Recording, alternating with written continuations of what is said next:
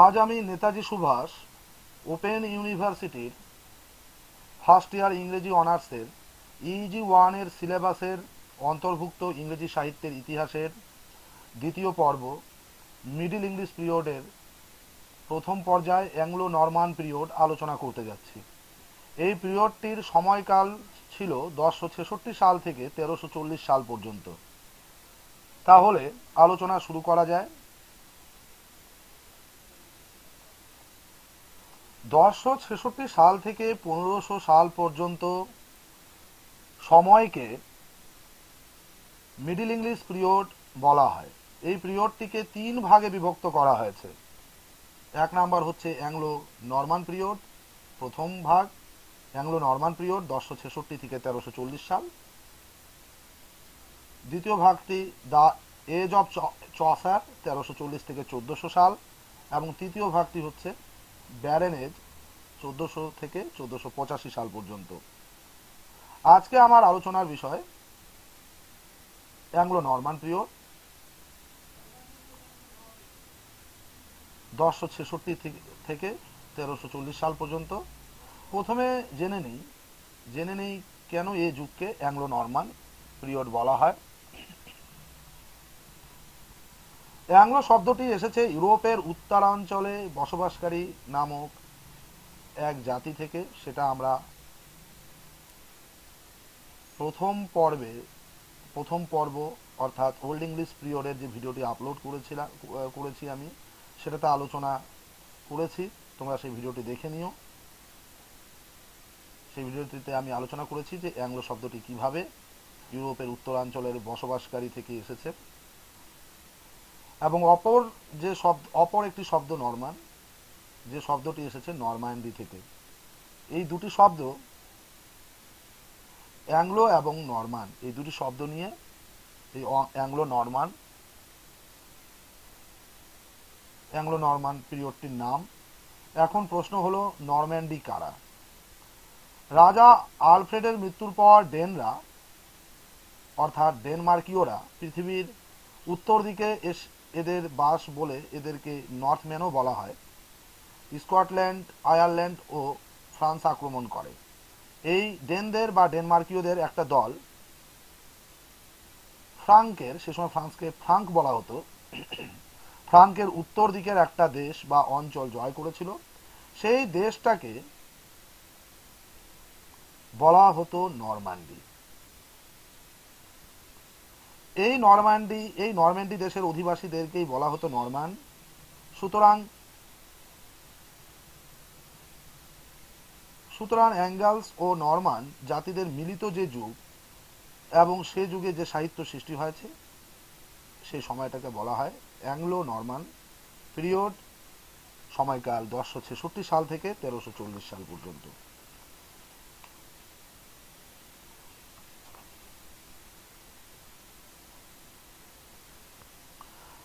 দশশো ছেষট্টি খ্রিস্টাব্দে Norman duke William English Channel পার হয়ে হেস্টিংসের যুদ্ধে জয়লাভ করে। উইলিয়াম সমগ্র ইংল্যান্ডের অধিপতি হয়ে যায়। উইলিয়াম অ্যাংলো সেকশনদের সমস্ত ভূসম্পত্তি নরম্যান ব্যারনদের দিয়ে দিলেন। অ্যাংলো সেকশনদের বলা হতো আর্ল এবং নাইট, অপরদিকে নরমান অভিজাতদের বলা হতো ডিউক এবং ব্যারান, ব্যারন। নরম্যান ব্যারনেরা তাদের সামন, সামনতান্ত্রিক, সামন্ততান্ত্রিক আইন তৈরি করল এবং কৃষকদের তাদের জমিতে কাজ করতে বাধ্য করল। ইংরেজরা দাস শ্রেণীতে পরিণত হলো। ইংল্যান্ড বিজয়ী উইলিয়াম সাহেব ইংরেজি বলতে পারতেন না। তিনি এবং তার অভিজাত ব্যারনেরা নরমান ফ্রান্স ভাষায় কথা বলতেন। তা সত্ত্বেও প্রায় দুশো বছর ধরে নরম্যানরা ইংল্যান্ডে আসতে শুরু করলেও ইংরেজি ভাষাকে তারা সম্পূর্ণরূপে নষ্ট করতে পারেনি।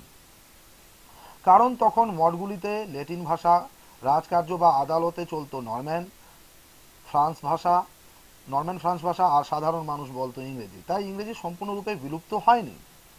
নরমানদের আধিপত্যে থাকা কালীন ইংল্যান্ড। চতুর্থ শতাব্দীতে শতবর্ষ যুদ্ধের সময় থেকে নরম্যান ফ্রান্স এবং অ্যাংলো সেকশন ভাষা মিলেমিশে পরিবর্তিত হয় একটা জাতি একটা জাতীয় ভাষায় পরিণত হলো, যে ভাষার ভাষার ভাষাকে যে ভাষাকে মধ্যযুগের ইংরেজি ভাষা বলা হয় ইংরেজ ছাত্রদের উচ্চশিক্ষার কেন্দ্র ছিল প্যারিস নগরী। দ্বাদশ শতাব্দীর মাঝামাঝি সময়ে তর্কবিজ্ঞান শিক্ষার বিষয় নিয়ে অধ্যাপকদের মধ্যে ব্যাপক বিরোধ সৃষ্টি হয়। ফলে একদল অধ্যাপক প্যারিস থেকে বিতাড়িত হলেন এবং সেই বিতাড়িত অধ্যাপকগণ ছাত্রসহ ব্রিটেনে চলে গেলেন এবং তারা অক্সফোর্ড শহরে একটি বিদ্যালয় স্থাপন করেন, যা পরবর্তীতে অক্সফোর্ড বিশ্ববিদ্যালয়ে পরিচিত হয়। এইভাবে বিশ্ব পরিচিত অক্সফোর্ড বিশ্ববিদ্যালয় তৈরি হয়। এরপর বারোশো নয় সালে কেমব্রিজ কলেজও প্রতিষ্ঠিত হয়, যেটা এই উল্লেখ্য ইংল্যান্ডের প্রাচীন এই দুটি বিশ্ববিদ্যালয় হচ্ছে অক্সফোর্ড এবং কেমব্রিজ। এই সময়কালে প্রতিষ্ঠিত হয়েছিল।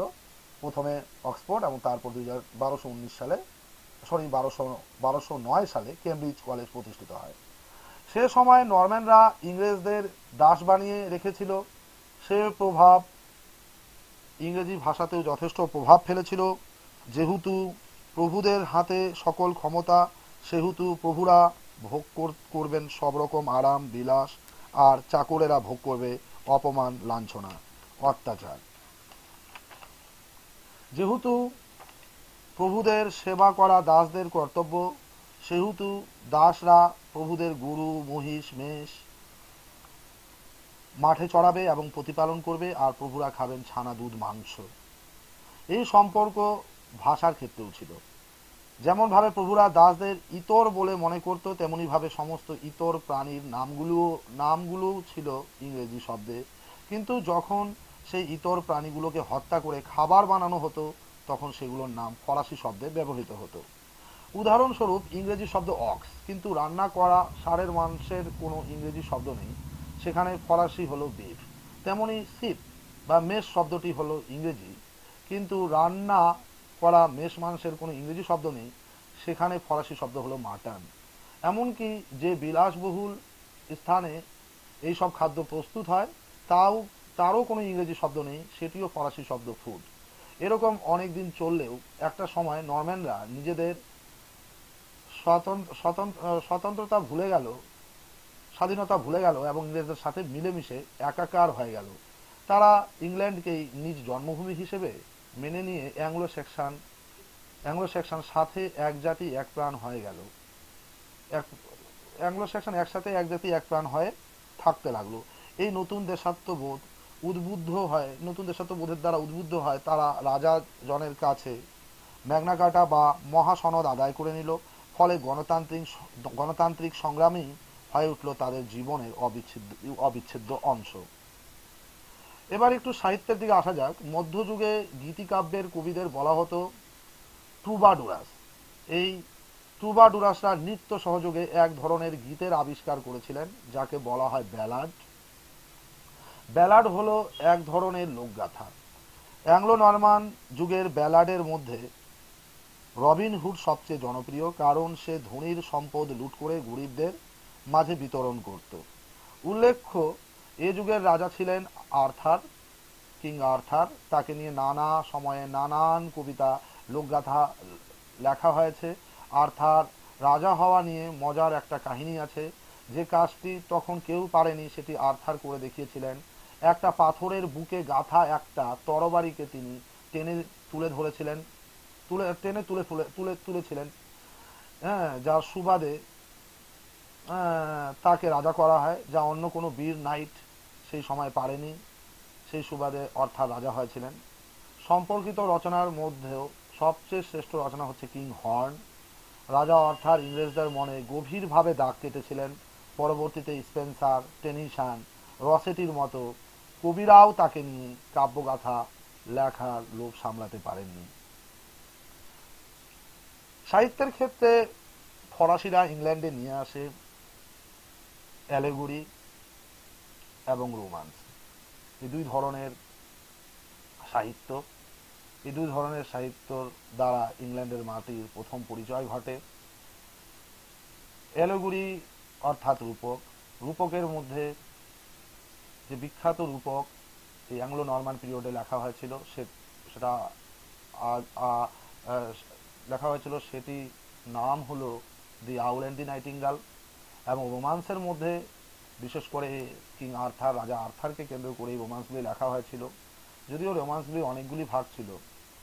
তবে ব্রিটেনের রোমান্সগুলি মূলত রাজা আর্থারকে কেন্দ্র করে আর, এবং রাজা আর্থারের রাউন্ড টেবিল, রাউন্ড টেবিলের সাথে যুক্ত নাইসদেরকে কেন্দ্র করে এই রোমান্সগুলি রাখা হয়েছিল।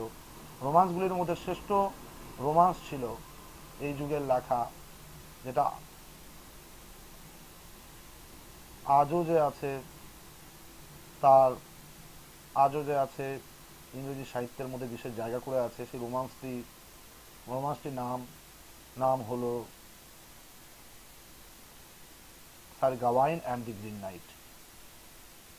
Anglo Norman পিরিয়ডের লেখা বিখ্যাত একটি romance sir Gawain and the green knight. ঠিক আছে, আমি আজকে অ্যাংলো নর্মান পিরিয়ডের আলোচনা এখানেই শেষ করছি। আশা করি তোমরা আলোচনাটি ভালো মতো বুঝতে পেরেছ। আমি এই ভিডিওটির ভিডিওটির নিচে ডেসক্রিপশন বক্সে অ্যাংলো নর্মান পিরিয়ডের উপর এই বছরের টার্মিন এক্সামিনেশনের জন্য যে প্রশ্নগুলি ইম্পর্ট্যান্ট সেগুলি উল্লেখ করে দিয়েছি দিয়েছি এবং সাথে উত্তরের লিঙ্ক দিয়ে দিয়েছি। তোমরা দেখে নিও, আজ এখানেই শেষ করছি। ভিডিওটি দেখার জন্য ধন্যবাদ। যদি ভালো লাগে চ্যানেল চ্যানেলটি সাবস্ক্রাইব করে নিও। পরবর্তী এই ধরনের আরও ভিডিও নোটিফিকেশান পাওয়ার জন্য। Thank you